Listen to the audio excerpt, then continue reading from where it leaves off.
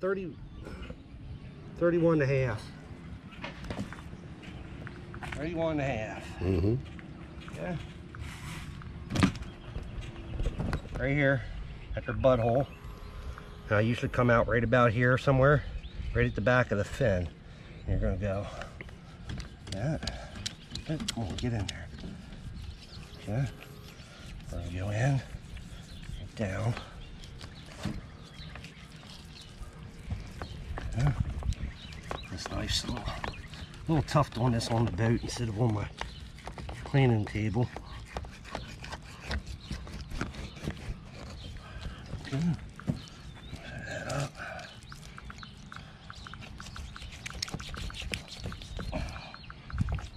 Okay. Let that hang. A nice chunk of meat up here, but that's you go this way, and I usually cut that out separate.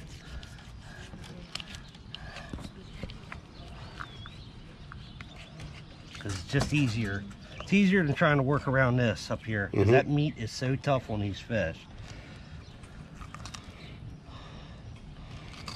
I think I'm gonna get them freaking uh some more JO. I haven't got any. I'm gonna get some. Yeah.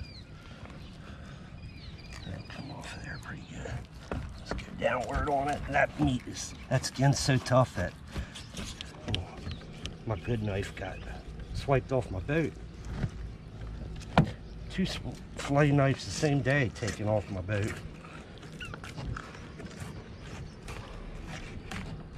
Okay.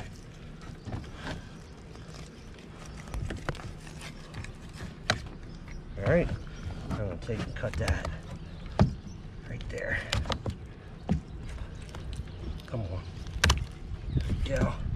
So let's set that there and get this piece out quick.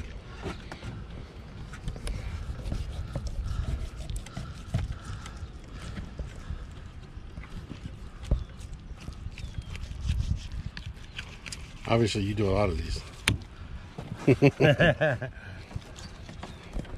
Good bit. Good bit of them. Tail. And here we go. Clams. Yep, told you these fish are full of clams. This is their main diet down here. Yep. Okay. So now you have all that to hold too, just like that right there. Which makes it super, super easy. There, there. This is tough not having a picnic table.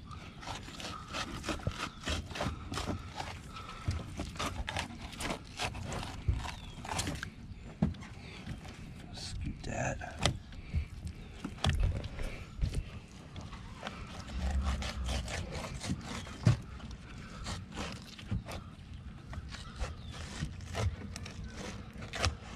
Uh, usually, I like to take these and throw them in a five gallon bucket of water as I'm filleting them Mm-hmm. Same here. and let them soak a little bit. I'll do that when I get home. I'll let soak, Yeah. soak overnight. Yeah, let the you don't even have to let them soak overnight, but it'll uh, if you soak them in water, it'll let the fat come off of them. Yeah, this off. Don't want to leave any of this fat on there. None of that red meat. A merchandiser. She's Just add some fresh water to clean this.